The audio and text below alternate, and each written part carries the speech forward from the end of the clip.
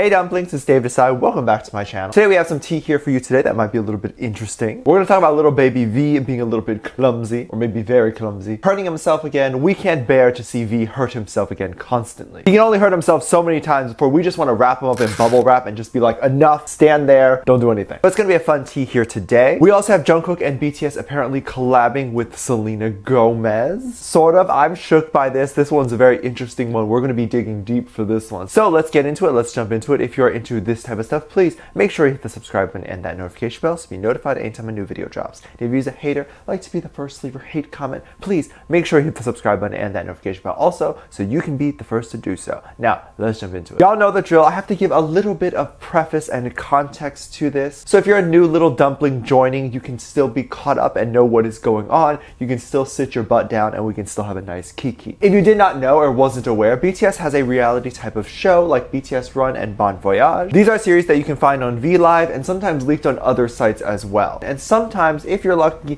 you can find little bits and clips on Weverse too. That's kind of cool. These are fun shows to watch. You really get to know the boys from these shows. They're always super funny, super clumsy, super themselves. And us armies know that content like this and seeing them kind of in their natural habitat is a little bit rare. Hit doesn't give us too many of these contents for free. Like the free stuff ain't as intimate as the stuff that you pay for, you know what I mean? So stuff like BTS Run and Bon Voyage definitely feel like premium type of content. And this content is definitely out there for free for people to see. Wait, you know what? I take it back. I don't want Big Hit to suddenly start charging for this type of content. It's not premium content, okay? But anyway, fast forward to about last week. They had the BTS Run episode 101. Wow, can we celebrate that they have 101 episodes? And when that episode came out, almost at the same time, a Big Hit staff accidentally leaked episode 102. So many armies were able to click play and kind of watch episode 102 and enjoy it. Most armies actually did a really good job at not spoiling it, which I was very surprised about. They kept it a secret and just shared like little screenshots of kind of the episode. Most people were definitely very excited about like kind of the Taekook moments that you saw in the little screenshots. Because you got to see Taehyung and Jungkook kind of together in the kitchen and being cute, hurting themselves might I add, but being cute. Now given that this content is free, it was very interesting to see that because a lot of armies felt like, wow, it's rare to see kind of Taekook kind of together doing their Taekook thing in free content. Big Hit is definitely smart because they know a lot of people want to see Taekook moments, so they put those Taekook moments in premium content. But you let this one slip out, ha ha ha. In fact, right after the leak of the episode, Taekook actually started trending on Twitter. And it was just from these like little snippet pictures that were there. Imagine that. I just want to clarify something. Whatever your opinion of Taekook is absolutely fine. I was hearing some army saying that shipping makes BTS uncomfortable. And you know what? I will not be shipping them in that way until they physically come out and say something. When I refer to Taekook, I'm referring to the action of Taehyung and Jungkook together. And I personally can still have my opinions, I just won't say anything. But once the official BTS Run episode dropped, episode 102, they should just title it Taekook. It dropped a couple days ago and we were finally able to see kind of these moments that everyone was talking about on Twitter. Like you see these moments on Twitter, you're like, oh my god, is that real? What's going on? And then you finally see it like live. Kind of like seeing a celebrity in real life after you've seen them for so long on TV. Oh my god, I thought you was just screen people and now you real life people too. But now back to the episode, literally get Taehyung and Jungkook out of the kitchen because Jungkook and Taehyung in the kitchen is literally a mess. Both of them are so clumsy and so goofy when they are together. Like literally clumsy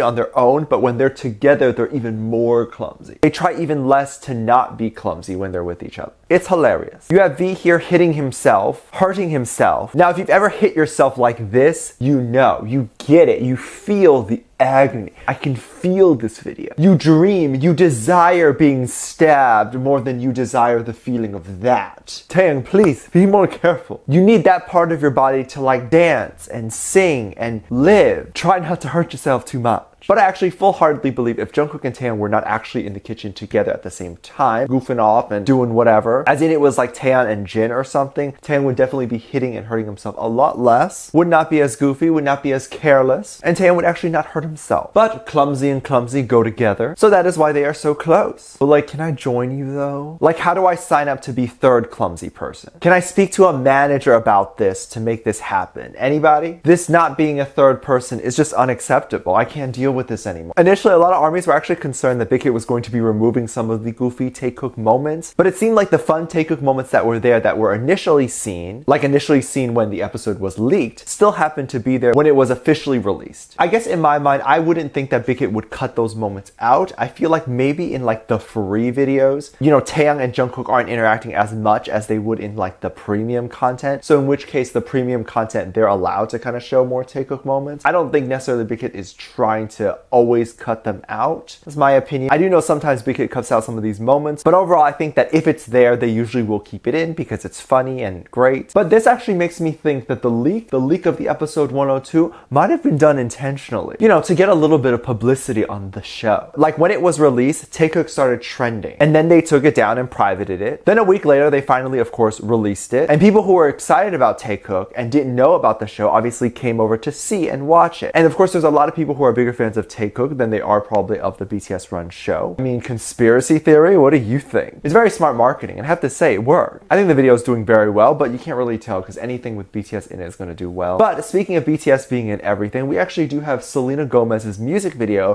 where BTS was actually in it, sort of. Okay, so you'll love this. This is like a little bit of a theory that we have to get into and kind of talk about. So it might sound a little bit crazy, but just hold with me, all right? You'll get it. It is, of course, a theory. I don't think Selena Gomez purposely came out and completely like said anything about this. She didn't make an official statement or a confirmation, but you'll let me know what you think and if this is too big of a stretch, because I don't think it is. And there's a lot of people also talking about this too, so it's not like I'm just like pulling it out of my butt. It's like people are actually discussing this as a thing that could be real. So now I have to give a little bit more context, so I need to go back. And every time I go back, I get a lot of comments being like, you're talking about old news. No, I gotta give context to what the new news is about with the old news. April 10th is when Selena Gomez released her music video Boyfriend. And it was cool, it's whatever. I don't really listen to Selena Gomez, so I actually didn't know it was released. But she actually released a doll version of said music video a couple days ago. And it copies her original Boyfriend music video. Like everything looks exactly the same. It's just dolls in replace of Selena and all the characters in the original music video. And they also created like a doll-like set to kind of mimic the set that was in the original music video. One of the original shots you notice in the official music video is kind of Selena Gomez at like a dinner with her date. But in the doll music video, it looks like Selena's date was replaced by the BTS Mattel Jin doll. Like, oh my god, gotta keep an eye out for Selena. She might be an armier. Very clever, very cool. But then you're probably like, oh Dave, that's a bit of a coincidence, don't you think? Well, coincidence this. If you dig a little bit deeper, you'll actually see this kind of clothing rack scene, which I find very interesting. And you'll notice that Jungkook's blazer is there, and this is the blazer from the Idol era of BTS. This cannot be done by accident. That is a very specific and unique looking blazer. To have that exact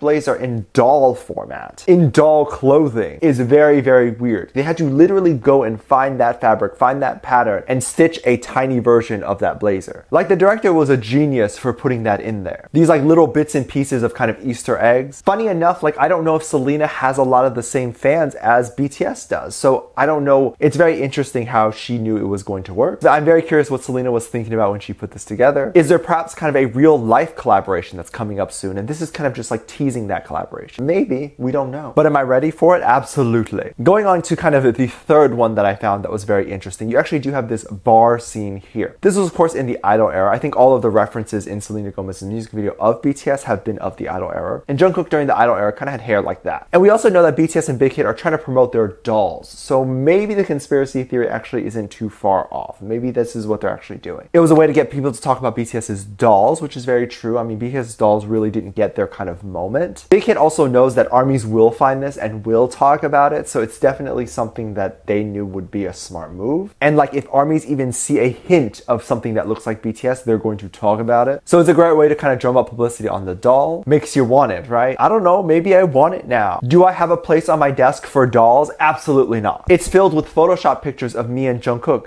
I mean, footballs. But I can definitely remove a football and put a doll there. There's definitely probably more Easter eggs in the music video that I haven't personally found yet. Something I didn't catch or didn't really speak about, or something that no one is really speaking about. Definitely if you have the time, you have to go over to the music video and kind of rewatch it and make sure you kind of look for all these moments. You'll have to see, you'll have to let me know what you think. I believe the three that I brought up were the more popular and kind of more obvious theories. Also the ones that make more sense to me. I don't know if this was a stretch. I personally don't think it was a stretch. It feels correct. I don't know. Do you think it was a stretch? Do you think it was a stretch to say that Big Hit was behind all this and trying to push the dolls. Maybe there are some moments in the music video that feel like a little bit of a stretch, but still make sense. I want to hear those and your theories as well on that. Let me know what you think. Leave it all down in the comment section down below. Give this video a thumbs up, subscribe if you haven't already, and feature in this comment right here. Thank you so much for leaving comments.